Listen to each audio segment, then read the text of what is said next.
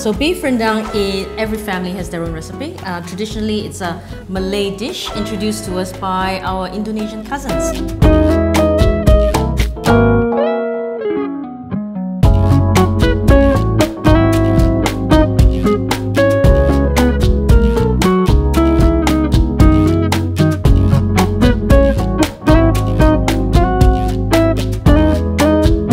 So I'm gonna just put one piece on your ladle and just break it through. Oh. When it breaks through, it's Yeah. done. See? It breaks through. She's done.